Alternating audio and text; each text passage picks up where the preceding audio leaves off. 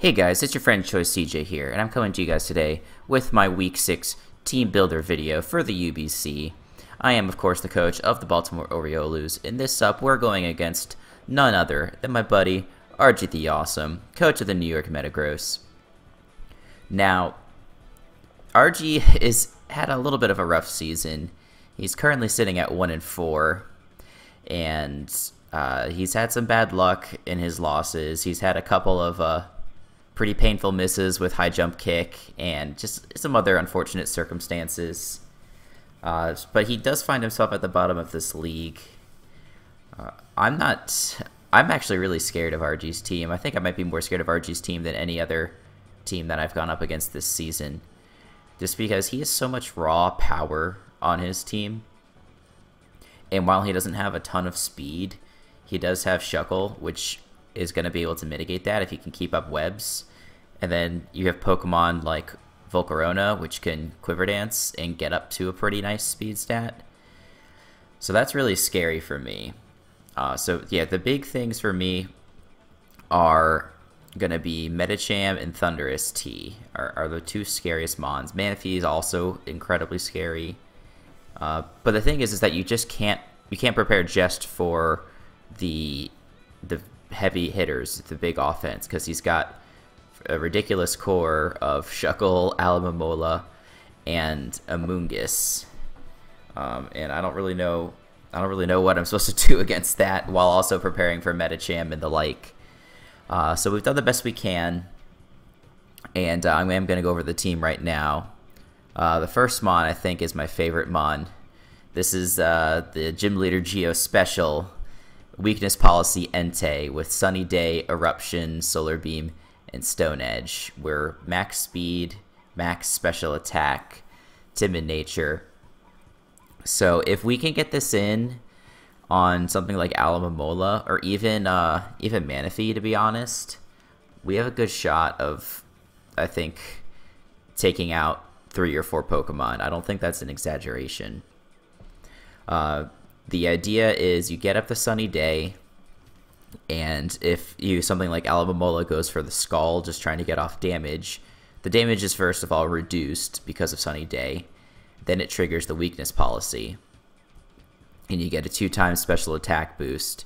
And we're able to crush everything with either eruption or solar beam. Uh, solar beam should do should okay. OKO Alomomola.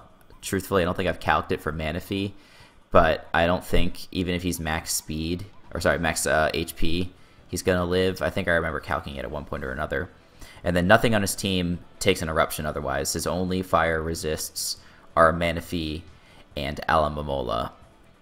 So this is gonna be probably the key to victory, is being able to set up with this Entei, get off the weakness policy boost, and uh, and crushing from there. So in order to do that, keeping hazards off the field are going to be really important because we want this Entei to come in at nearly full health. Uh, we want to be able to come in at full speed. And uh, if we could do that, then we just click eruptions. Sun boosted eruptions, pretty tremendous. Sun boosted plus two eruption is pretty tremendous. Uh, so I, I I'm trying to decide if I should lead with this I don't think I want to because he's probably gonna if he brings Shuckle, he's gonna be leading Shuckle. Um, and I don't want to get my weakness policy knocked off. If he doesn't bring Shuckle, then maybe we lead with Entei and we'll be all right. Uh, Stone Edge, I suppose I should mention, is just on there for Volcarona. It does OHKO. Uh, it might not OHKO like a bold uh, max HP set, which I know RG is a fan of. But if we can just get off some damage with that, we can come in with Tom Selleck afterwards and Revenge Kill. Next up, we've got Bane. If he does bring Shuckle, I think this is the lead that I'm bringing. We have Stealth Rock, Taunt, Rock Slide, and Earth Power. So it's kind of a weird set, to be honest. Uh, but I do want to be able to prevent these Shuckle from getting up webs and anything else, getting up rocks. Uh, Earth Power hits pretty much everything on his team pretty well except for the two flying types, Honchkrow and Thundurus. So that's what the Rock Slide is for. Uh, to be honest, uh, Rock Slide also does more to Volcarona than Earth Power. Uh, that's probably an OHKO with because it's sheer force boosted.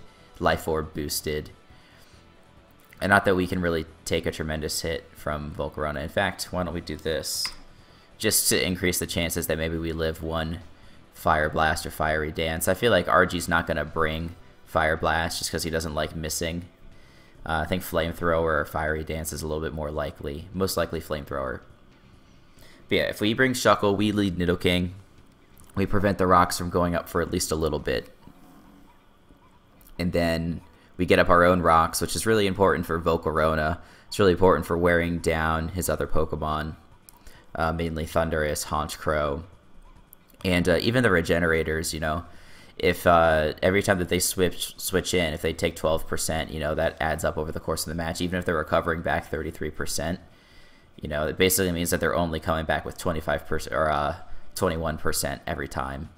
So that's a big difference. So Nidoking should be good and uh, yeah, mostly just trying to scare his team and uh, prevent rocks and prevent webs. We're also bringing Tomahawk this week with kind of a weird set with Rock Slide, Aerial Ace, Dragon Pulse, Energy Ball. Uh, I wanted to bring Leaf Storm over Energy Ball just because it does so much to uh, Manaphy and Alomomola. I think I will, honestly. Uh, you know, I, I, didn't. The thing that reason that I didn't want to bring it was because of the drop.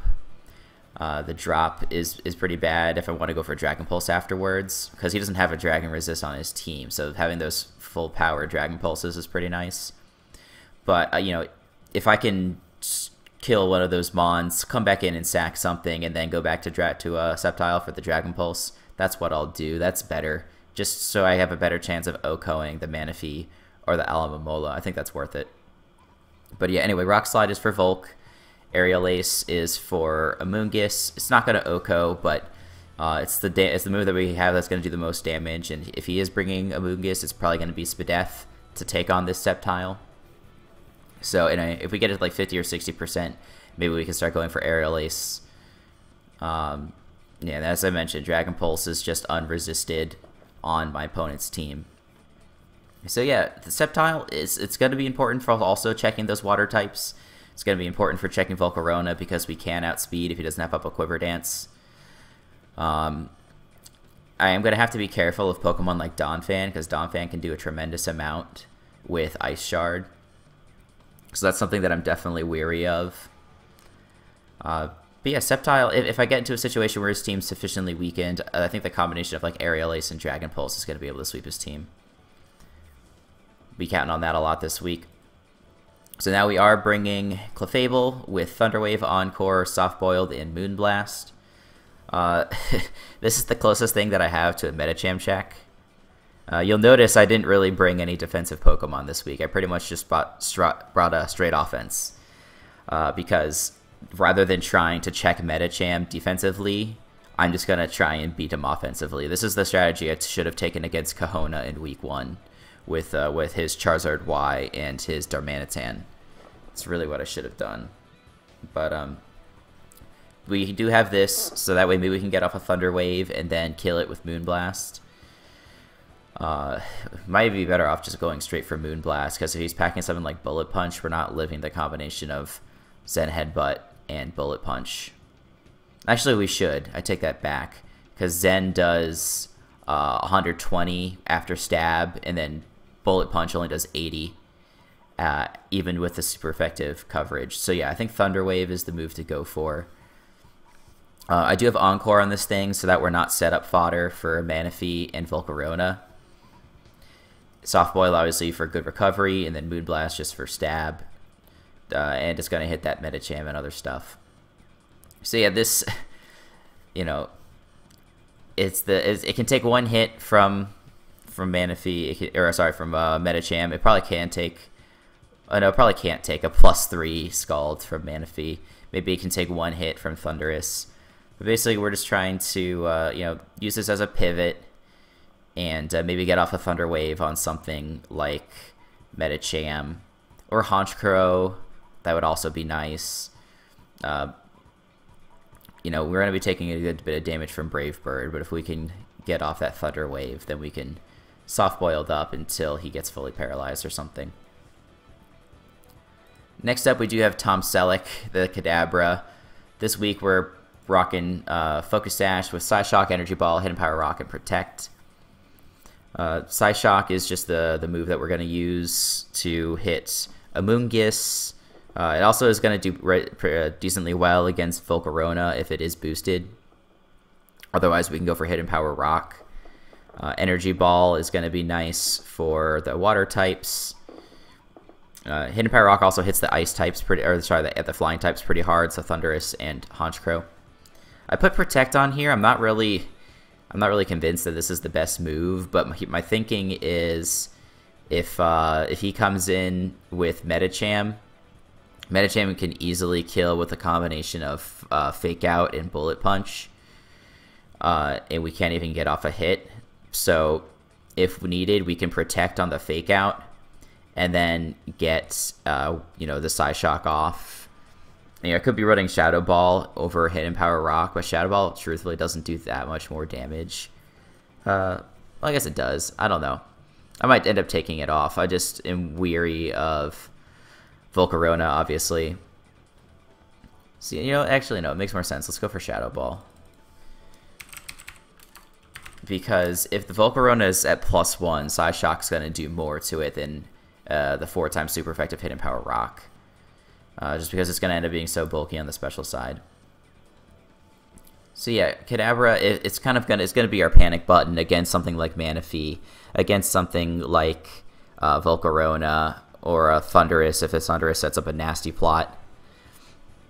The real trouble is going to be if he has like um, if he has Agility Thundurus, that's really going to be bad. Uh, but I think our last member should be able to handle that a little bit. We do have a Life Orb Excadrill with Rapid Spin, Earthquake, Rock Slide, and Sandstorm. Uh, so kind of like with Nidoqueen, or Nidoqueen, uh, I, I, have Nidoking. I don't have Nidoqueen in this league. Uh, kind of like with Nidoking, the ground rock coverage is really good against RG's team. He doesn't have a lot of ground weak mons necessarily, but he doesn't have many resists he just has Honchkrow and Thundurus, which are both going to die to uh, Rock Slide. Uh, we put enough speed on here to outspeed the Jolly Honchkrow. And it is going to be outspeeding things like plus one Volcarona. It's going to be outspeeding uh, Choice Scarf, Thundurus T. The only thing that's going to be bad is if he has like um, Focus Blast Thundurus. uh, then we can't really do anything to him. Like Focus Blast Agility Thundurus is just probably going to 6-0 us. Yeah, but otherwise, uh, I think this will be another good potential cleanup mon. This and Sceptile are the two I'm going to be relying on for that. Um, one of the two is going to end up being used as a wall breaker. Um, yeah, so I'm just hoping that this offensive team can both uh, you know, handle the offensive threats that RG has and also the defensive threats. And I'm kind of nervous about it. It just seems like a really big task. Like you know, I, when I get into the battle, to the battle, I'll be able to figure out one way or the other. You know, am I going to uh, need to use Sceptile to sweep, or am I'm going to need to use Excadrill to sweep? It all depends on what mons he's bring. Right now, I'm just looking at his team of 11, and I'm just so scared. Uh, but he obviously he can't bring every threat. Uh, so I'll be able to evaluate my, my options once the game starts. And uh, we'll go from there. So I do want to thank you guys for watching. Uh, the battle's going to be going up tomorrow, so please be sure to be on the lookout for that. And uh, check back for more Pokemon content. Until the next time, I'll see you guys later.